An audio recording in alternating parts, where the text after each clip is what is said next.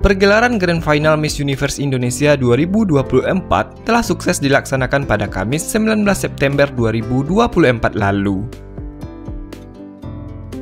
Sebanyak 14 finalis Miss Universe Indonesia sudah berkompetisi untuk merebutkan satu gelar Miss Universe Indonesia yang akan melaju ke ajang Miss Universe di Meksiko pada November 2024 mendatang.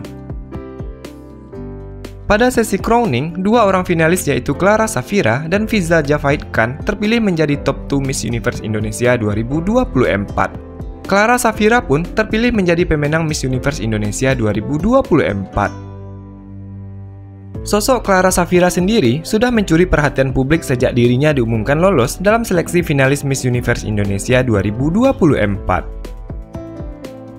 Wanita kelahiran Jerman 19 Mei 2002 ini diketahui memiliki darah Sunda Jerman yang berasal dari sang ibu dan ayah. Sejak kecil, Clara kerap bolak-balik Indonesia Jerman lantaran beberapa anggota keluarga ibunya masih tinggal di Indonesia, sementara keluarga sang ayah masih banyak yang menetap di Eropa. Clara Safira pun memilih untuk melanjutkan pendidikannya di program sarjana bisnis internasional di Universitas Pelita Harapan. Selama tiga setengah tahun berkuliah di UPH, Clara pun berhasil menyelesaikan pendidikannya dengan gelar cum laude pada bulan Agustus 2024 lalu. Clara diketahui juga aktif dalam membangun komunitas perempuan yang dibangunnya yaitu Our Safe Space. Advokasi Clara dalam pemberdayaan perempuan ini menjadi modalnya menuju ke pemilihan Miss Universe Indonesia.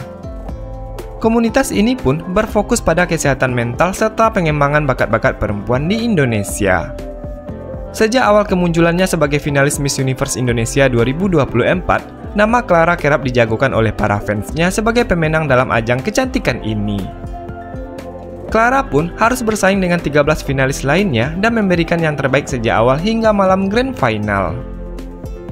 Atas keputusan para juri, Clara keluar sebagai juara Miss Universe Indonesia 2024 dan akan mewakili Indonesia di ajang Miss Universe di Meksiko pada bulan November 2024 mendatang. Clara Shafira, Indonesia! Yeah!